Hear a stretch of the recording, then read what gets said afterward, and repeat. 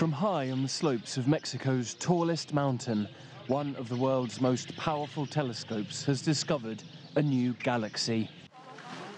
27 billion light years from Earth, the formation is one of the oldest things in the universe and the second most distant object yet known to mankind.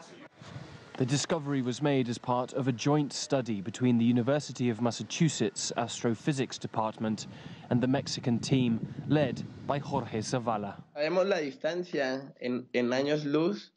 It's 27 billion light years away, an incomprehensible distance and has existed for 97% of the life of the universe. But it's an important discovery because our current understanding of the universe doesn't allow for the formation of such a massive galaxy so soon after the Big Bang. Zavala used the Large Millimetric Telescope, or LMT, located in eastern Mexico, to make his groundbreaking discovery. Here, at an altitude of 4,500 meters on the slopes of a dormant volcano, this single aperture telescope is the largest of its kind in the world.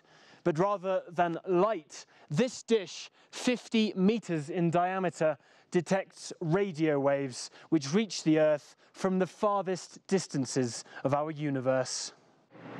Yet, because the light has taken billions of years to reach planet Earth, the theory of general The astronomers cannot say whether their new discovery still even exists. When the light from this galaxy left the galaxy and started traveling towards us, and since that time, over essentially, you know, more than 90% of the history of the universe, the universe has expanded by seven times, and today we're now receiving that light from that, uh, from that distant galaxy. So it's a very early galaxy. It's a galaxy that's, uh, that exists early in the history of the universe. It may not even exist as a galaxy today. We're traveling back in time. We're seeing that galaxy in the moment of formation. But what does that galaxy look today? Look like today? We have no idea. While the Mexican astronomer's discovery may not appear definitive, the stargazer is not disheartened. It